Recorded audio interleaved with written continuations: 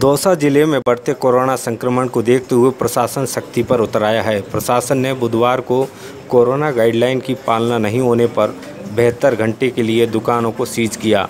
Dausa SDM Sanjay Gaura और deputy SP Deepak Sharma के नेतृत्व में टीम ने शहर में घूम घूम कर कोरोना गाइडलाइन की पालना कराने को लेकर जायजा लिया। इस दौरान दुकानों पर ग्राहकों और दुकानदारों के बिना मास्क मिलने पर तथा सोशल डिस्टेंसिंग की पालना नहीं होने पर दुकानों को सीज किया। प्रशासन की इस कार्रवाई का दुकानदारों ने विरोध भी किया। उन्होंने कहा कि नेताओं की रैली में तो हज़ारों लोग होते हैं, वहाँ कार्रवाई नहीं की जाती और हमारी दुकानों पर दो चार लोग मिलते ही कार्रवाई कर दी जाती है। देखिए, जैसे आप सबको विदित है कि कोरोना का कहर काफ़ी बढ़ गया है और दूसरी वेव जो है वो लोगों को काफ़ी स्ट्राइक कर रही है।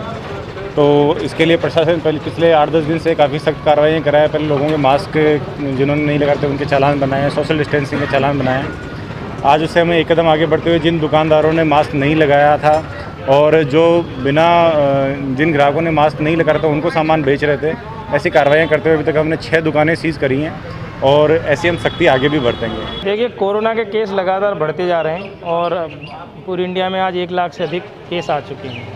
इसी क्रम में दौसा में भी काफ़ी लापरवाही लोगों द्वारा की जा रही है जिसकी वजह से केस लगातार बढ़ रहे हैं। तो उच्चाधिकारियों का आदेश भी है पहले भी हमने दो तीन दिन से लगातार हम कार्रवाई कर रहे थे आज हमने और सख्त कार्रवाई करी है जिसमें कि हमने कुछ दुकानों को सीज किया है।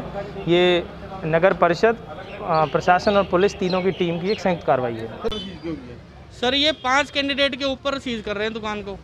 तीन तो दुकानदार का स्टाफ ही। है। आदमी क्या करेगा बताओ आप। कस्टमर आएगा उसको बाहर थोड़ी निकालें। कस्टमर के लिए तो बैठे ही हैं हम लोग। क्या कहा आपसे उन्होंने बोला पाँच के ऊपर पेनल्टी है। पाँच सौ रुपये की तो रसीद काट दी बहत्तर घंटे के लिए दुकान सीज कर दी इन्होंने हमारी।